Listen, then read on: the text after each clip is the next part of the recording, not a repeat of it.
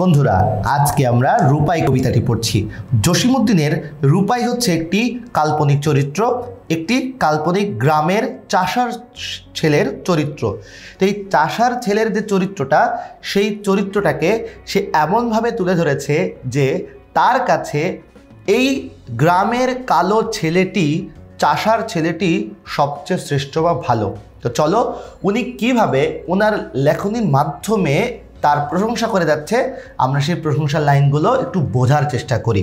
তো এখানে যে লাইনটা বলা হচ্ছে যে জারি গানে তাহার গলা উঠে সবার আগে। বন্ধুরা, তোমরা বুঝতেই পারছ এই তাহারটাকে আমাদের রূপাই। তো রূপায়ের গলাটা সবার আগে উঠে কিসে? জারি গানে। তোমাদের জারি গান, ভাটিয়ালি গান তোমরা সবাই জানো জারি গানটা মূলত হচ্ছে শোকগীতি, শোকের গীত।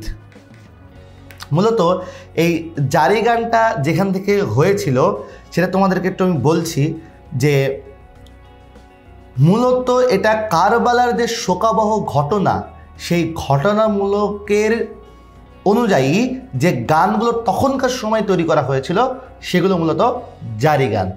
আচ্ছা তারপর বলা হচ্ছে শালসুন্দি বেদ এখন দেখো, শালসুন্দি বেদ বলতে এখানে মূলত প্রয়োজনীয় অর্থাৎ সকল, আমি একটু লিখে দিচ্ছি, সকল কাজের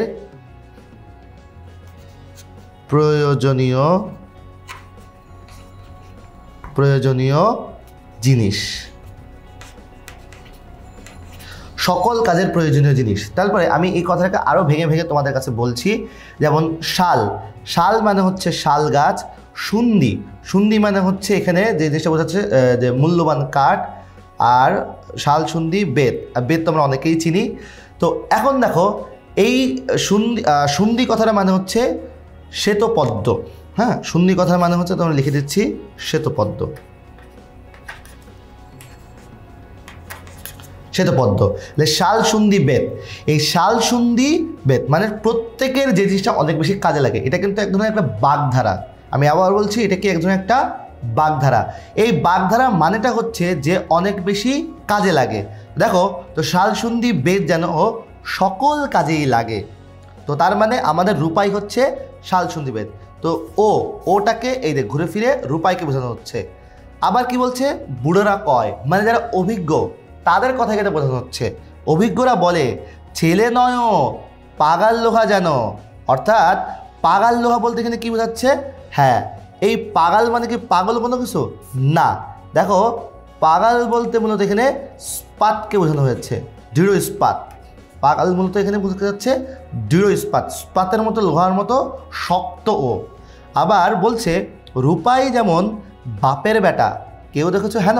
হেন মানে হচ্ছে এমন। তার মানে ও হচ্ছে একটা বাপের বেটা, আসল, শক্তিশালী এবং ভালো ছেলে। তো এই এরকম ভালো ছেলে তোমরা কি এর আগে কখনো দেখেছ? তো সেই কথাটা কারা বলছে? গ্রামের বুড়োরা, অভিজ্ঞ যে লোকেরা তারা বলছে। তো বন্ধুরা, আশা করি এই যে রূপায়ের যে প্রশংসা করার যে বিষয়টা, সে আশা করি তোমরা খুব ভালো করে বুঝতে পেরেছ। তো কবিতাটি তোমাদের অনেক বেশি ভালো লাগছে। এই কবিতাটির যে শেষ অংশ, সেই অংশ নিয়ে তোমাদের কাছে ফিরে আসছি।